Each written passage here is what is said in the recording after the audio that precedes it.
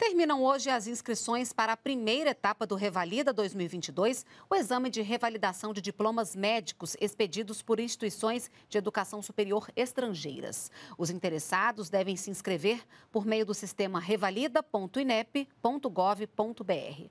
As provas vão ser aplicadas no dia 7 de agosto em oito cidades brasileiras.